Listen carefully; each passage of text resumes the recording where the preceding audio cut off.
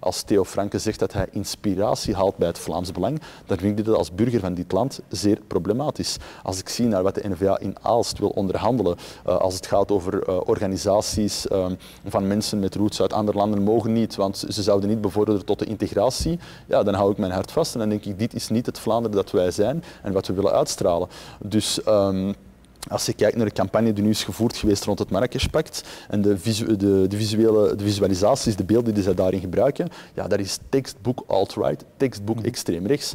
Dus ja, er zijn heel wat mensen binnen de NVA die op een andere manier aan politiek doen. Dus je kan ze niet uh, um, in het hoekje opdelen van extreem rechts of een cordon eraan aanleggen. En ja, tegelijkertijd, ze flirten met het extreem rechts, um, wat slecht is voor de politiek in Vlaanderen en slecht voor het publiek debat.